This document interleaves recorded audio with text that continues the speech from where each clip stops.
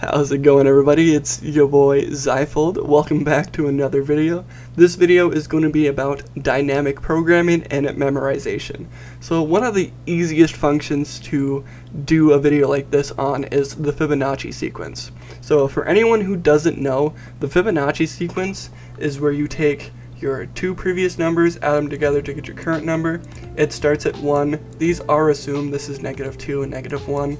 So or 0 and negative 1, and then you just add your two previous numbers, so 0 plus 1 is 1, 1 plus 1 is 2, 2 plus 1 is 3, 2 plus 3 is 5, so on and so forth. You get some pretty big numbers really fast.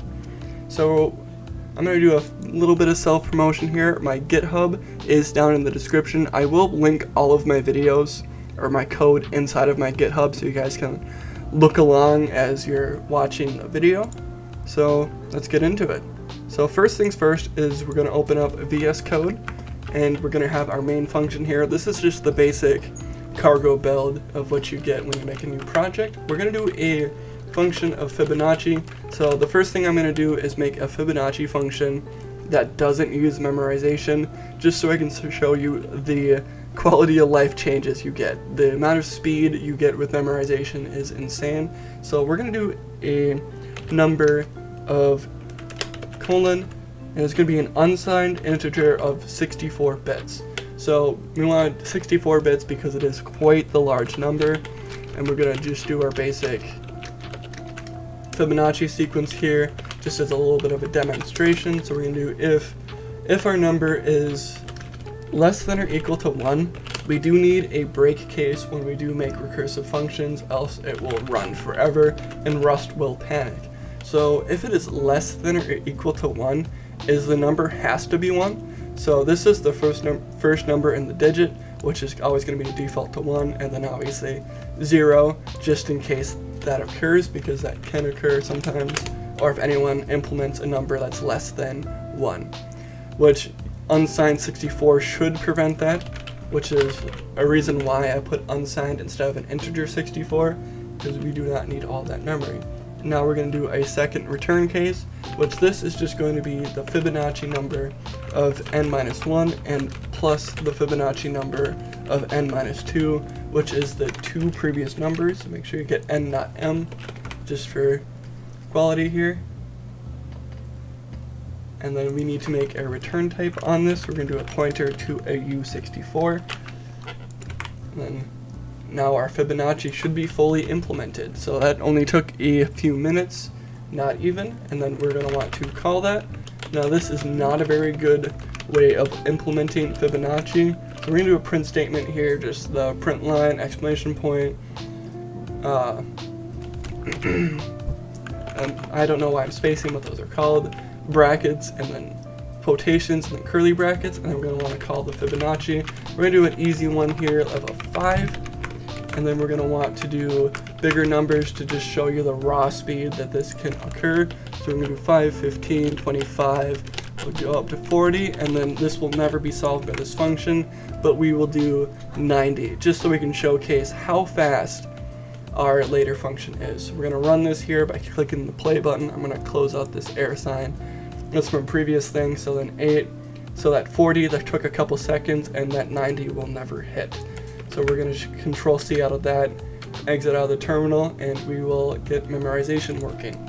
So first things first is we need to make our array. So we're going to let a mutable memo, which is going to be short for memory, because I don't want to spell that out a few times. We're going to do a U64. We're going to make this 100 long. Be mindful of how many numbers you want. This always needs to be one more of whatever size you're doing. So I'm just doing 100 to be safe, and then we're going to make this array be filled with 100 zeros, just so we can do an if statement later on. So now that we have our memory, now we need to make our Fibonacci be able to take memory. So we're going to do a comma up here. We're just going to type in memo and colon.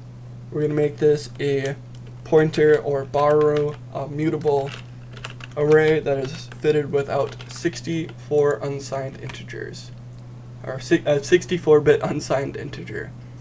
I think that's the oxymoron, but. And then in order to get all these scary red errors out, we just gotta do a comma memo, we're to paste this in. We can hit save.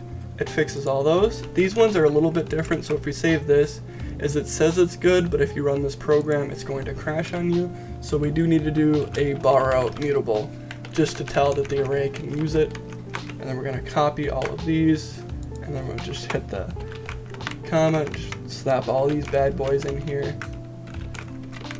And then once we have all these in here, we can hit save. That removes all of our red errors, but although we've implemented this function here, is it's not going to be any faster than it was. So if we, the next thing we want to do is we want to return our memo in this function, and we're going to want to do of n, and now if we let this sit, it should yell at us. That means we need to make this an un, a u-sized instead of an unsigned 64-bit integer. That's just one of Rust's quirks. You can't index on anything other than a u size. And then we need to add our memory to this, and then we're going to do our n as a u size for our storage.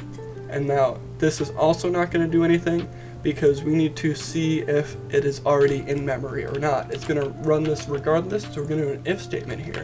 So we're going to do if our memory of n as u size is equal equal to 0. So we we put 100 empty zeros into this array.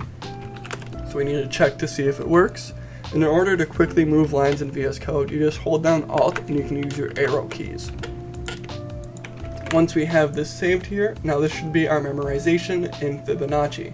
So if we hit run here, is it should be almost instantaneous. We're to close out some of these errors, but you can see that it did 90 in like a split second. And then another benefit with this is since we're using a mutable array, our array here carries on to all of our future existence. So this 90 was faster because this 40 had already occurred. If we did a raw 90, it would be a little bit slower than it was for that between those two numbers.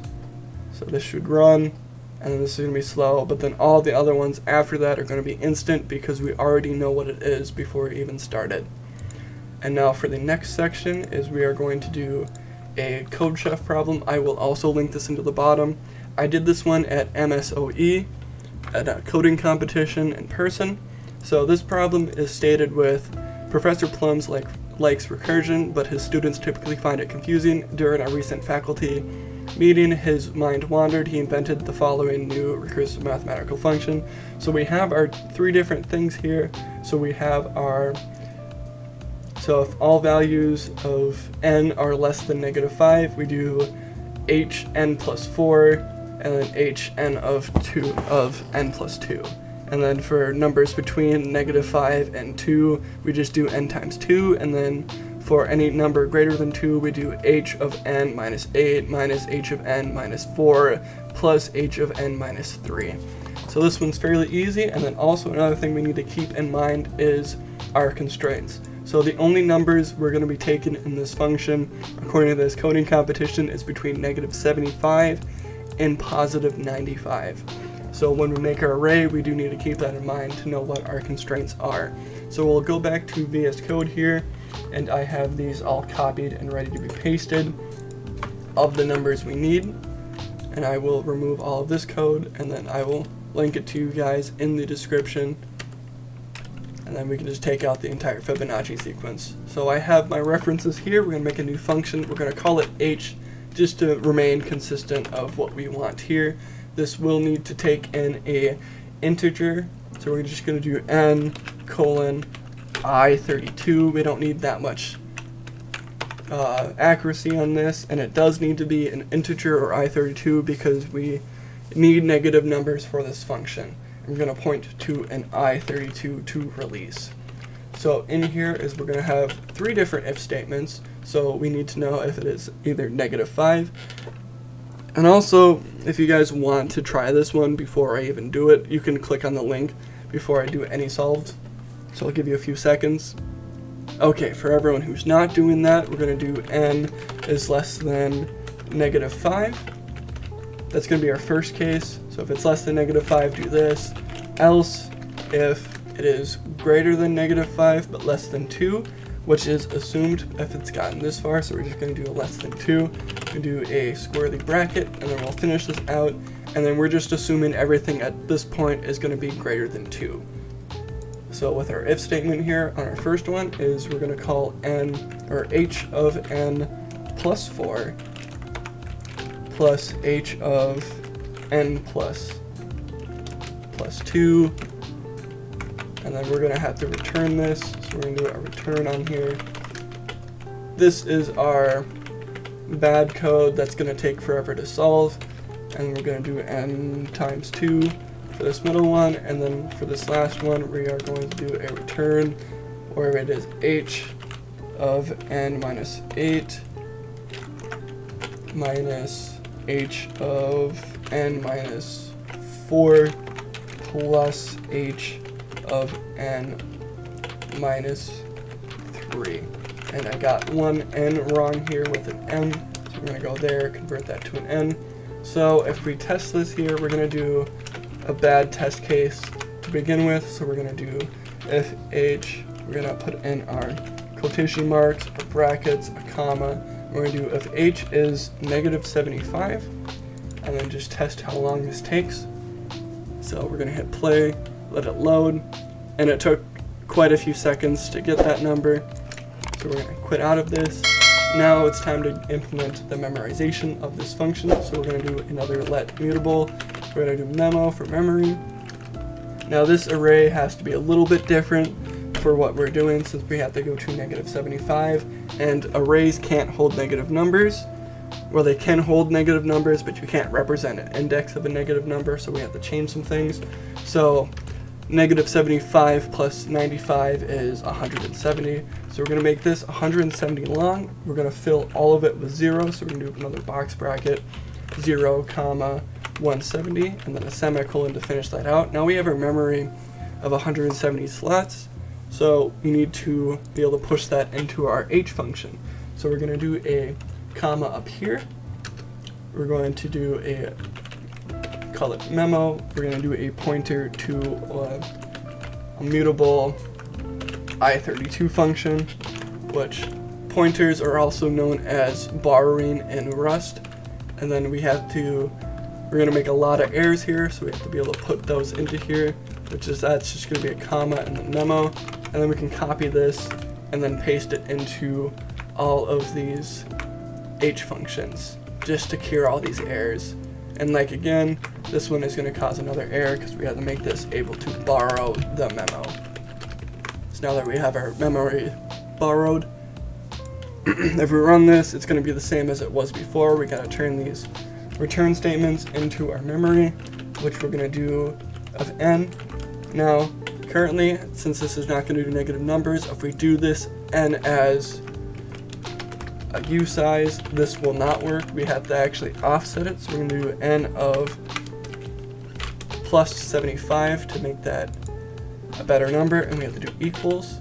And then since all of these are going to be the same, we're going to copy this and change our return types to the equals mem. And then at the end here, we're going to return our memo, which is just going to be this function.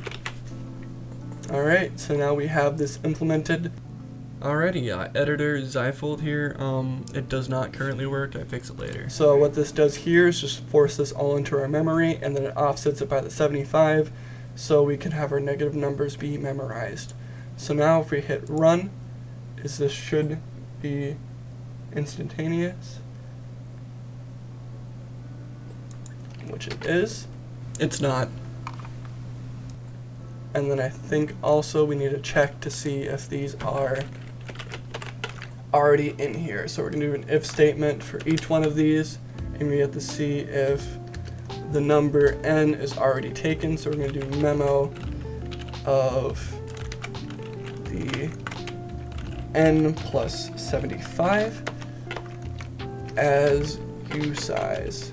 So we have to see if that is already in here, which I think I can do this at the beginning. So we're just going to alt push that up and then highlight all of this, hit tab. If that is does not equal zero, wrong, that should be if it equals zero. Then we're gonna throw all of this and alt move that up into here. else we're going to return this. So now if we hit play, is this should be a lot faster, so as soon as it compiles and runs, oof, I did something wrong. Alright, I looked here, I actually did not equals, it needs to be a double equal, so if we hit play, it's instantaneous and it's the same number as it was, so that's all we need. And then we'll do multiple of these here, just at more extreme numbers. So we'll do 95 to test out our limits. Oops, that was a panic because I gotta make this 171 for our extra room. So we can store all of our numbers. So then all those are instant. And that's memorization. So just another plug. I looked at my analytics. I'm at like 99.6% of people aren't subscribed. So if you got to this video, if you got to this part of the video, please feel free to subscribe. Uh, follow my GitHub. You'll find my new projects there, and I'll sometimes post my projects before on my GitHub, and then you guys can see a video on it. So it's kind of like a little sneak peek. You'll get more information there of me following or setting up videos prior to their upload. So make sure to like, subscribe, hit the bell, comment something. Know how I'm doing. I really like to know. So thank you guys for watching. Bye.